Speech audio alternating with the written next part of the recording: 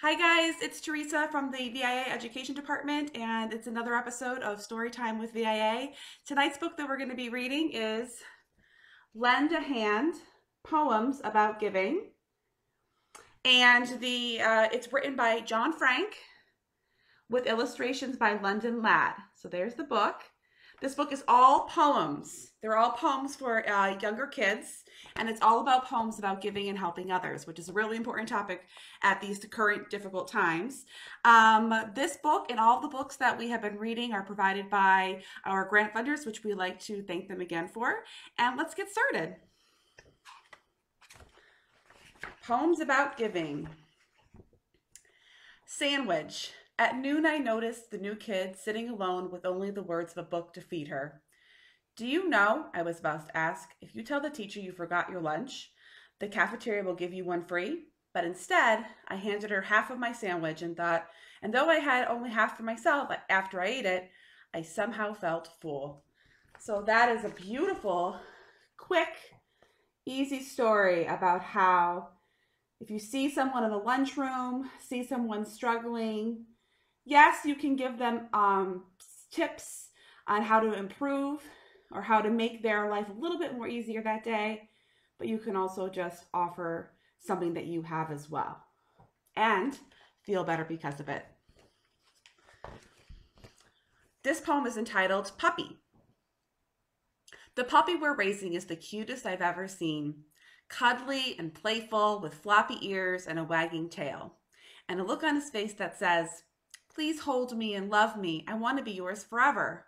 And before long, we're going to give him away. He'll be someone's uh, uh, someone's eyes one day. So that last line, he'll be someone's eyes one day, is a tip off. This puppy is being trained to be a service dog or a seeing eye dog. Isn't that cool? Again, helping others. Jammin'. I made a new friend. His name is Mr. Mc- Mr. Kellerman, and he says to call him K-Man. And he lives in a house at the end of the block. He just turned 80 and hasn't had any family for a long time. When I found out K-Man owns a ukulele, I brought over the electric guitar and I le- I'm learning to play, and the two of us jammed and traded riffs. We're probably not good enough yet to form a band, but we didn't sound too bad.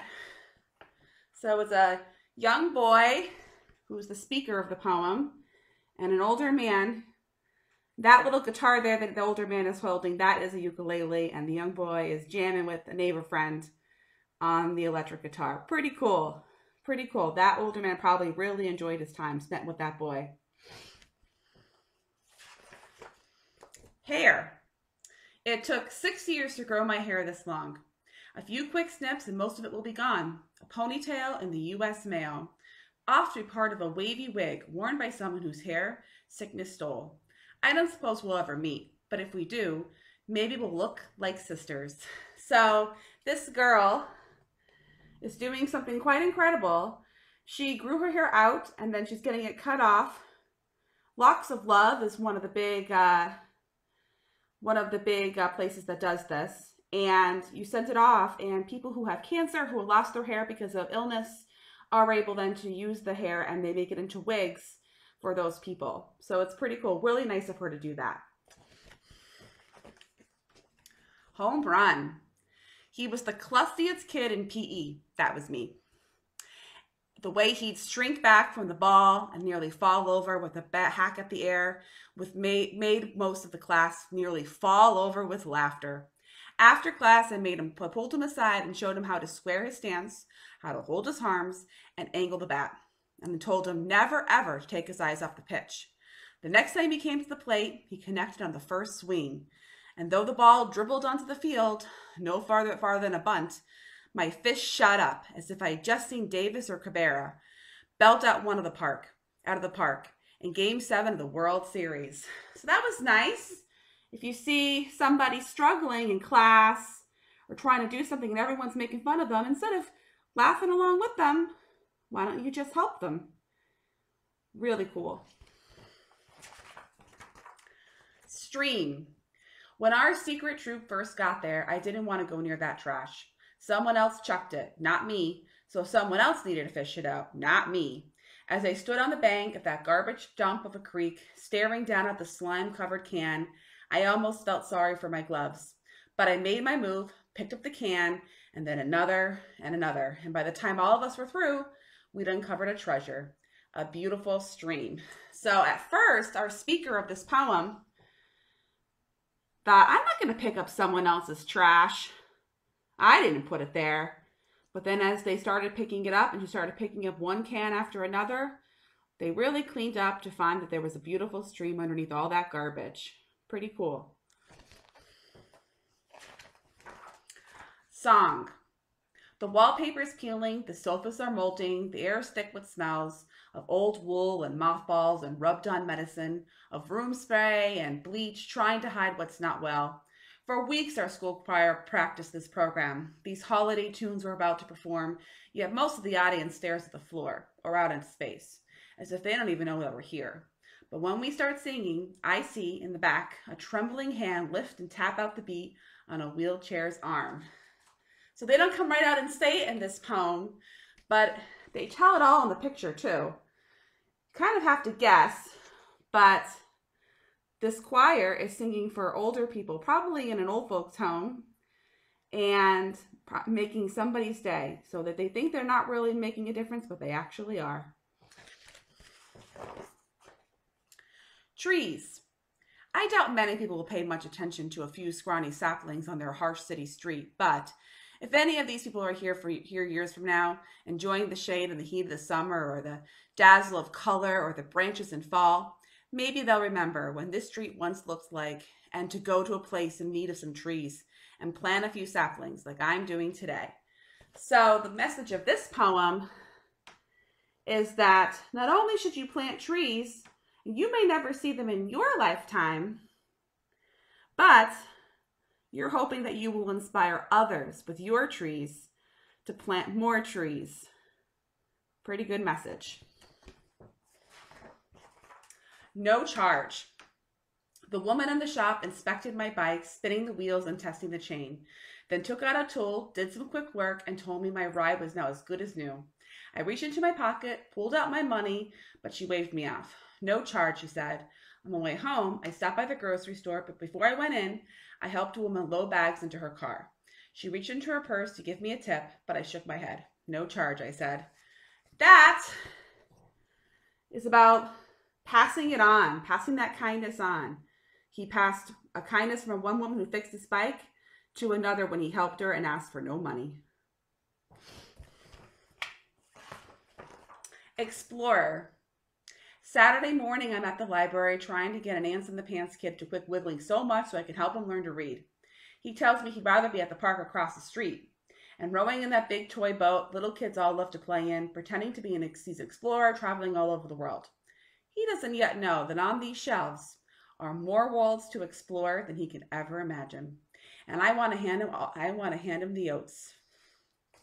So, just like what we're doing today, and we have been doing every night at 7 p.m., is that yes, you could be outside playing, which you can't really do right now because of the uh, difficult situation that we're all in, but there is a world of imagination and fun in books.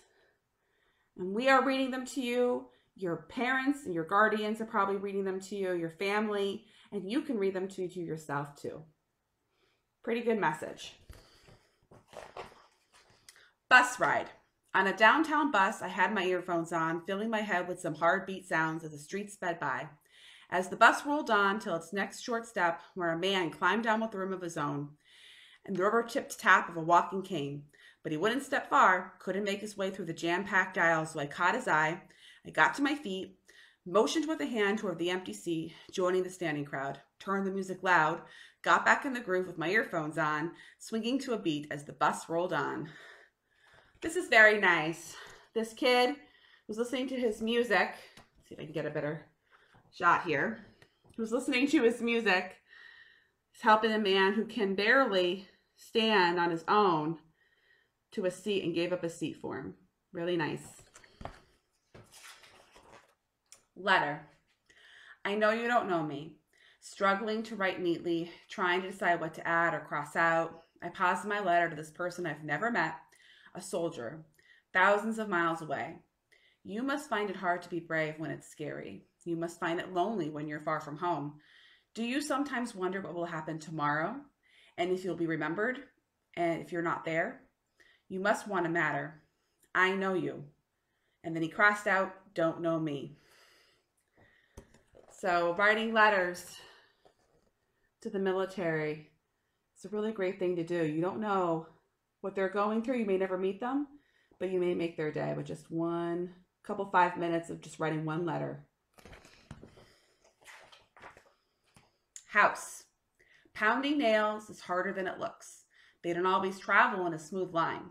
They bend, they twist, and when you try to straighten them or pry them loose, they sometimes put up a fight. When we're finished hammering and this house is done, a family will move in. Hard times for them hold on like stubborn nails. So this is uh, basically a poem about uh, building houses for people who can't afford to live in those houses or can't afford to buy them. And there's a lot of uh, great foundations that do that. So there you go. Pounding that nail, helping somebody out. No bounds. Multiplication was always a chore till my grandmother took me to her quilting club. Then I discovered the simple marvel of squares of cloth sewn together by hand. Two squares by two squares makes four. Three squares by three squares makes nine. The rhythm of a needle making rhythms of shapes to cover and comfort a shivering child. As I practiced my stitch, I wondered aloud if there should be a limit to how far quilts reach.